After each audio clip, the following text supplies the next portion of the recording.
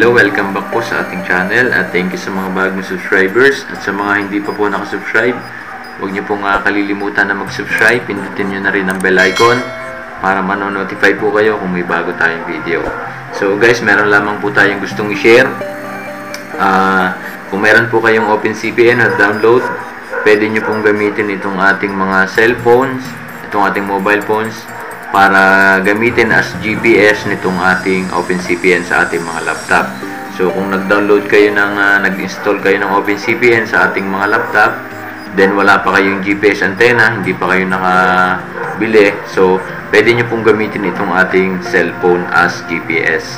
So guys, bago tayo magsimula dun sa mga bago dito sa ating channel, uh, marami po tayong videos.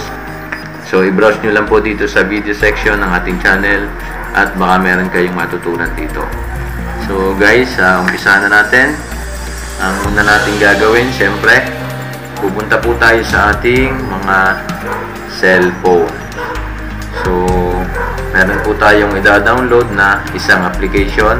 Yan, ito po yon Bluetooth GPS output. Ito po yung kailangan nating ma-download sa ating mga cellphone para magamit natin ang cellphone as GPS ng ating laptop. So, ilalagay ko po sa description ng video na ito ang ating application. So, ililink ko po sa baba para madali nyo may download. So, yan.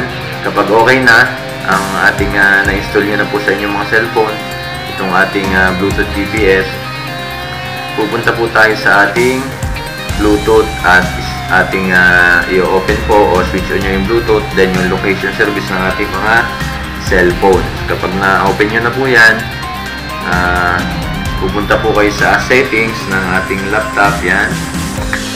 I-switch on nyo din yung uh, settings ng ating laptop Bluetooth, then add Bluetooth. Kung hindi nyo pa na-add, at hindi nyo pa na-pair. So, kung ginagamit nyo na ang inyong laptop sa inyong Bluetooth, so wala nang problema. I-switch on nyo lang, nyo lang po yung inyong mga Bluetooth sa laptop at madidetect na yung inyong uh, cellphone. So kung okay na, naka-pair niya sa naka-pair na, punta po kayo sa inyong uh, cellphone, balik po kayo dito. Then click natin itong ating application para mag-open, then start natin. Nakalagay po dito, yan. Click natin yung start. Then sa baba, agree para magkaroon siya ng uh, position or ng coordinates. So yan, kung makikita nyo guys, nagkaroon na siya ng uh, position o ng coordinate. So, kung meron na siya, balik tayo dito sa ating settings ng Bluetooth. Then, hanapin nyo itong sa baba, more Bluetooth options. Yan. Ilalabas po na bagong uh, uh, Windows. Uh, click bagong tab, click nyo lang po itong Comforts. Yan. Then, hanapin nyo yung pangalan ng inyong mga cellphone. Click nyo yan, highlight nyo. Then, click OK. Yan, kapag na-okay nyo na, pwede nyo nang i-close or minimize ang inyong mga uh, settings. Yan, kapag okay na, punta kayo sa inyong mga OpenCPN, i-open nyo na yan. Then, dito sa options or settings, punta kayo dito sa pangatlo, connection. Then, sa baba, dito makikita nyo, add connection.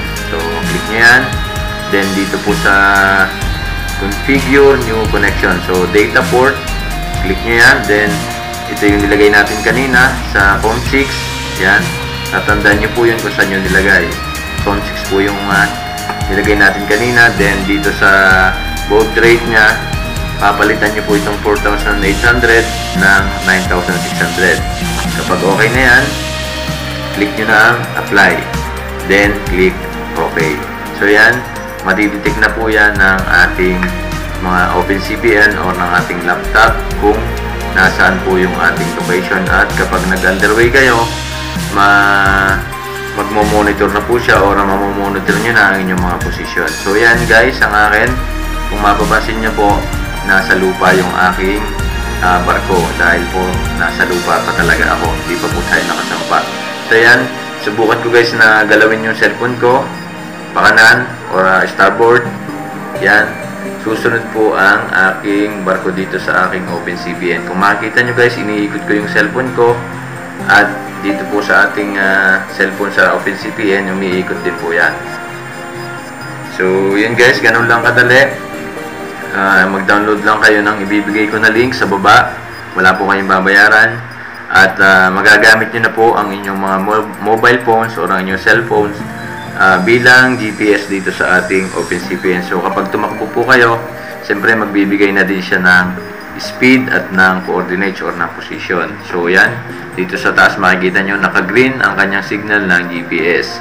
So ganun lang guys kadali at ah, wala kayong babayaran. So kung may natutunan kayo, uh, pakihit ng ah, like at huwag niyo pong kalimutan mag-subscribe, i-share niyo na din at ang bell button, huwag niyo kakalimutan para manonotify po kayo kung may bago tayong video. So yun lang guys, thank you and God bless.